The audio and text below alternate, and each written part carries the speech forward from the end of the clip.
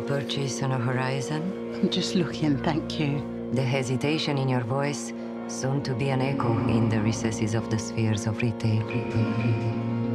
The dress is your image, onto what you project through an illusion. I'm just going on a date. I don't normally wear this kind of thing. Be bold. Your date will compliment you. I would like you to announce the numbers to your telephone. 01632 960 7 And seven, Eight. and eight, Six. and six, and stop. As promised, Thank you. you look different. Oh my god, what's that? That looks nasty. Maybe just the washing powder. Oh, I hope it isn't catchy. How's it going, Sheila? Everything's fine. What happened to your hand? Washing machine went bananas.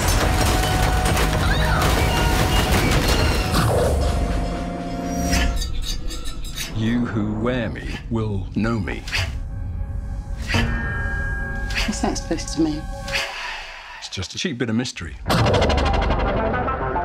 I think something's wrong with that dress. Don't tell me you're scared of a dress.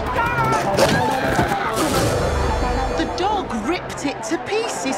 Spank spanking new almost. Such a pretty dress.